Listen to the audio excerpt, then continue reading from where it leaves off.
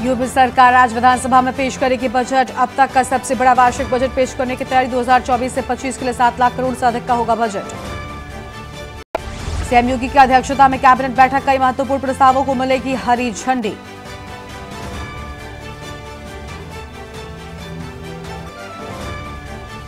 उत्तराखंड विधानसभा सत्र की तैयारी पूरी, कुछ ही देर में शुरू होगी सदन की कार्यवाही। 6 फरवरी को पेश होगा यूनिफॉर्म सिविल कोड का ड्राफ्ट। पहले ही दिन हंगामे के आसार। सीएम धामी ने बजट को बताया, बेहतर कहा यह बजट किसानों, महिलाओं, युवाओं और वंचितों के उत्थान में निभाएगा महत्वपूर्ण भूमिका।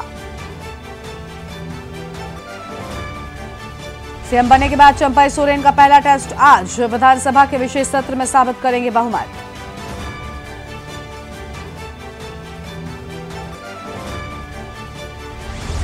कानपुर में तीन घंटे में छह एमएम बरसात, लखनऊ में रात भर बारिश, तेज हवाएँ चली, आज से सत्रह जिलों में अलर्ट, कल भी ऐसा ही रहेगा मौसम।